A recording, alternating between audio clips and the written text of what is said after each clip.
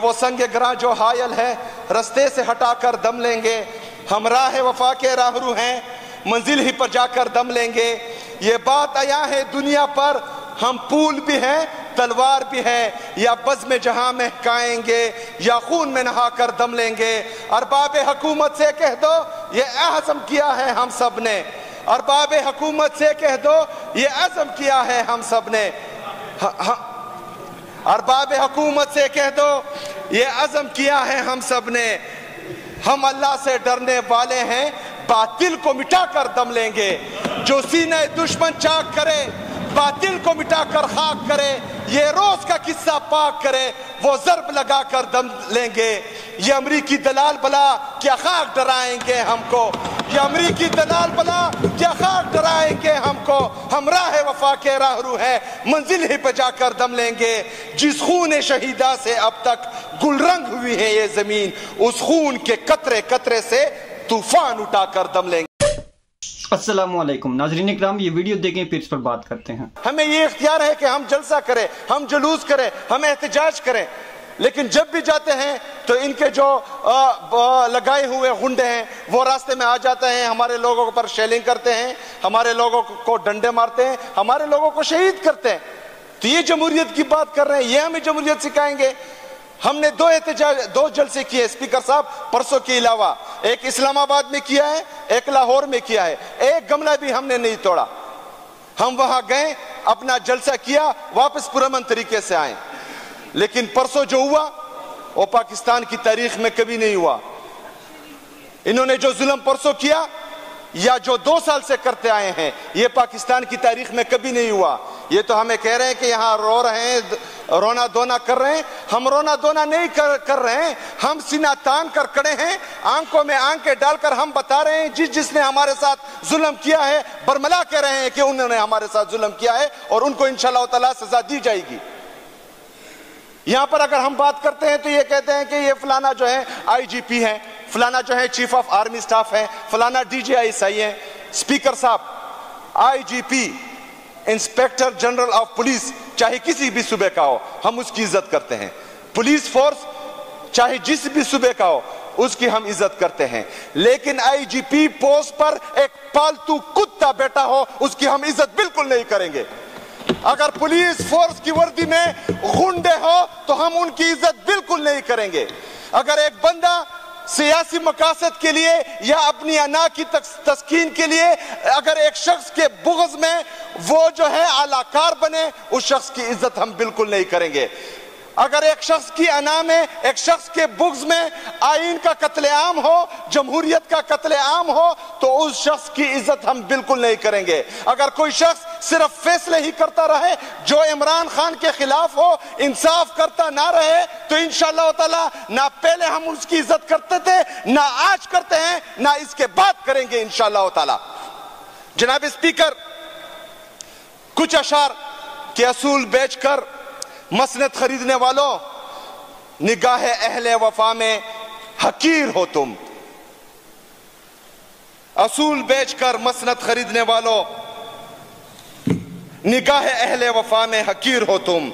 वतन का पास ना तुम्हें ता ना होगा कभी। वतन का पास ना तुम्हें ता ना कभी होगा तुम्हें। कि अपने हिर्स के बंदे हो, बेजमीर हो तुम। जनाब स्पीकर, जमहूर और दस्तूर, यही चिल्लाते रहे। 1971 से लेकर आज तक हमारे कान पक गए कि दस्तूर और जमहूर। लेकिन अब जो है इनका एक नया नारा लग गया कि मजबूर। वो कहते हैं, हम मजबूर हैं। अच्छा आईन में अमेंडमेंट्स ला रहे हैं। पूछा गया कि क्या अमेंडमेंट्स हैं? इनसे पूछा, इनको पता नहीं था। उनसे पूछा, उनको पता नहीं था। अच्छा जिसको राज़ी करने के लिए गए, उन्होंने पूछा कि ड्राफ्ट किधर है?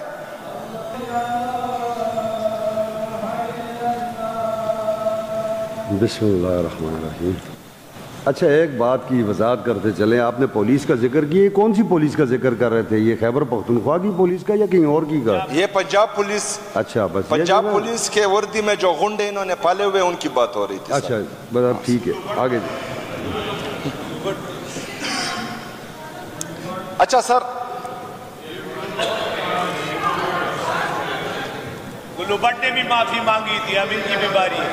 कोई चीज़ एक्सपंज नहीं होगी जी। क्यों एक्सपंज करें?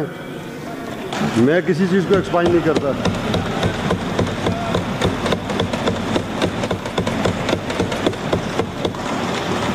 इस देखें इस हाउस में जो भी अल्फाज कहे जा रहे हैं और जो भी कह रहा है, ये उसका पूरा आके वो कहे, वो पब्लिक को रिप्रेजेंट कर रहा है पब्लिक ने उसे रिप्रेजेंटेशन के लिए यहाँ भेजा है। जो अल्फाज वो मुनासिब समझते हैं, वो इस्तेमाल करे, मैं किसी भी लफ्ज़ को यहाँ से एक्सपांस नहीं करूँगा किसी भी सूरत में। वो रिकॉर्ड कैसा रहना चाहिए? ये बीच में एक दरमियानी रहा एक्सपांस कर दो। क्यों कर दो भाई? तो बस अपने जज्बात कंट्रोल कर जाए सर अजीब बात यह है कि ये तो एक्सपंज करना चाह रहे हैं लेकिन जो जुल्म हुआ है ये हमारे साथ कर रहे हैं हम बर्दाश्त कर रहे हैं। ये जो है सिर्फ़ बोलना मैंने पहले भी नहीं कोई चीज़ एक्सपांस नहीं की है। करना पड़ेगा पहले भी बातें हुई है मैंने एक्सपांस नहीं की है।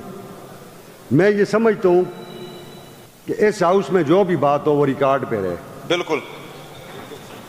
और जो कहने वाला कहता है वही सुनने वाला सुने।